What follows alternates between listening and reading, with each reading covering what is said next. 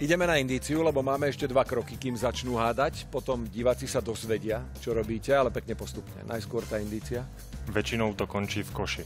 Väčšinou to končí v koši. Basketbal.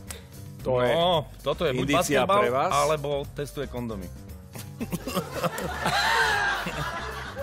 asi zahrdia. Aspoň raz, ďakujem pekne, ďakujem pekne.